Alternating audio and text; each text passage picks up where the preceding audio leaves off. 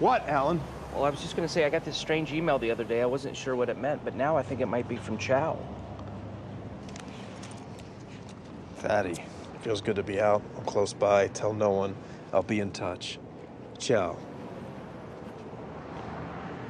This says Chow.